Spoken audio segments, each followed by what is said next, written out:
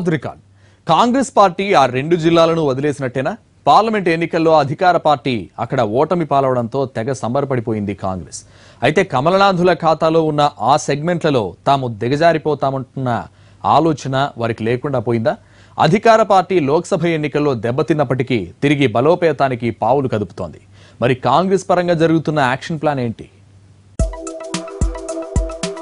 Parliament ఎన్నికల్లో తెలంగాణ ఉద్యమానికి ఊపిరిగా నిలిచిన కరీంనగర్ నిజామాబాద్ ఎంపీ స్థానాలను తాము గెలవకపోయినా అధికార పార్టీ ఓడిపోయింది అని సంతోషపడింది కాంగ్రెస్. అక్కడ ఏ ఎన్నికలు జరిగినా కాంగ్రెస్ పార్టీ కనీస పోటీ కూడా ఇవ్వలేకపోయింది.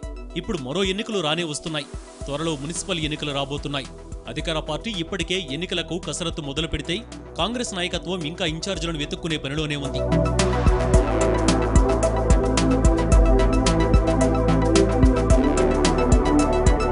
కరీంనగర్ నిజామాబాద్ జిల్లాలో టీఆర్ఎస్ ఇప్పటికే మున్సిపల్ ఎన్నికలకు సిద్ధమవుతుంటే కాంగ్రెస్ నాయకులు కథే మొదలు పెట్టలేదు ఈ రెండు జిల్లాలకు చెందిన నాయకుల్లో ఒకరిద్దరు యాక్టివ్గానే ఉన్నా నిజామాబాద్ జిల్లాలో మాత్రం పార్టీ పూర్తి నిద్రావస్థలోనే ఉంది. కామారెడ్డిలో షబ్బీర్ అలీ తప్పితే మిగిలిన నాయకులంతా సైలెంట్ అయ్యారు. నిజామాబాద్ మాజీ ఎంపీ మధుయాష్కి లోక్సభ ఎన్నికల తర్వాత అటువైపు చూసిన దాఖలాలే లేవు.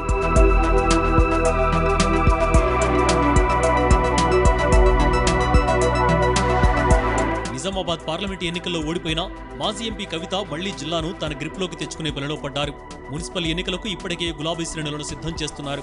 మంత్రి ప్రశాంత్ రెడ్డి ఎమ్మెల్యేలతో సమీక్షలు చేస్తూ మున్సిపల్ ఎన్నికల సమరానికి సిద్ధమవుతున్నారు.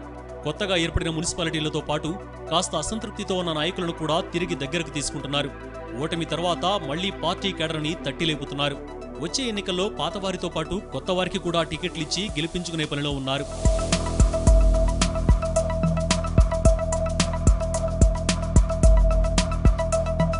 పక్కనే ఉన్న కరీంనగర్లో కూడా జగిత్యాల మెట్పల్లి కోర్టులలో కూడా ఎమ్మెల్యేలను సమన్వయపరుస్తూ ఎన్నికలకు సిద్ధమవుతున్నారు.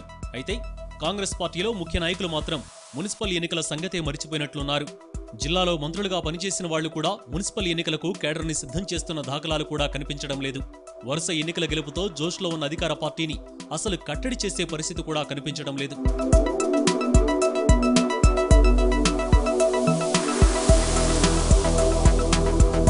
ఏదేమైనా ఎన్నికల్లో ఓడిపోయినా కూడా కొంతకాలం స్తబ్దతగా ఉన్నారు కవిత. సీఎం కూతురుగా గెలిచినా ఓడిపోయిన నియోజకవర్గంపై ఆధిపత్యం మాత్రం వాళ్ళకు ఉండటం సహజం. అయితే కాంగ్రెస్ పార్టీ పట్టు పెంచుకోవడానికి కనీస ప్రయత్నం కూడా చేయడం లేదు. పార్లమెంట్ ఎన్నికల్లోనే మాజీ మంత్రి సుదర్శన్ రెడ్డి హ్యాండ్సప్ అన్నారు. పార్లమెంట్ ఎన్నికల్లో ఎక్కడెక్కడ ఇబ్బంది కలిగిందో వాటన్నింటినీ మాజీ ఎంపీ కవిత సెట్ చేసుకుంటుంటే కాంగ్రెస్ నాయకులు మాత్రం సైలెంట్ అయ్యారు. టీఆర్ఎస్ రెండోసారి అధికారంలోకి వచ్చాక కరీంనగర్ నిజామాబాద్ జిల్లాల్లో కాంగ్రెస్ తన ఆధిపత్యాన్ని ఎక్కడా కనబరచలేదు. అసెంబ్లీ ఎన్నికల్లోనే కాదు అటు పార్లమెంట్ ఎన్నికలు ఇటు స్థానిక సంస్థల ఎన్నికల్లో కూడా పరువు నిలబెట్టుకునే దిశగా అడుగులు వేయలేదు. ఇప్పుడు మున్సిపల్ ఎన్నికల్లో అయినా మెరుగైన ఫలితాలు దక్కుతాయా అంటే అనుమానమే అంటున్నాయి కాంగ్రెస్ శ్రేణులు.